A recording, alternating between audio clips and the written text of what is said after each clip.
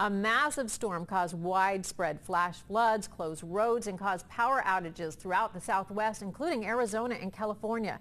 The historic downpour doused Phoenix with more rainfall in a single day than the Weather City normally averages during the entire summer season. More rain is expected throughout the southwest today. Danielle Nottingham has the details. Oh my God. Torrential rain turned major freeways into lakes in Phoenix, Arizona.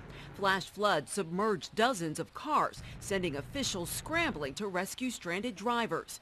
Jim Sampson says he was nearly swept away during his morning commute.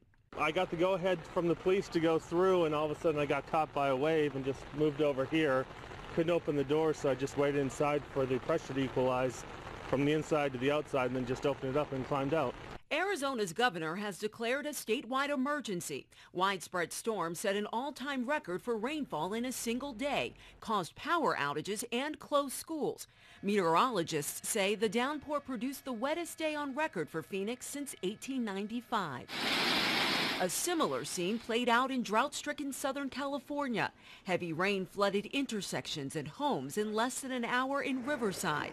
Residents waded through at least a foot of water in driveways and basements.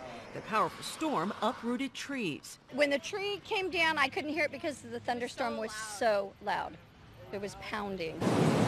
Near Palm Springs, slow-moving storms created dangerous rapids of water in normally dry creeks and canyons. Heavy rain and life-threatening flooding are in the forecast for parts of the southwest through Tuesday.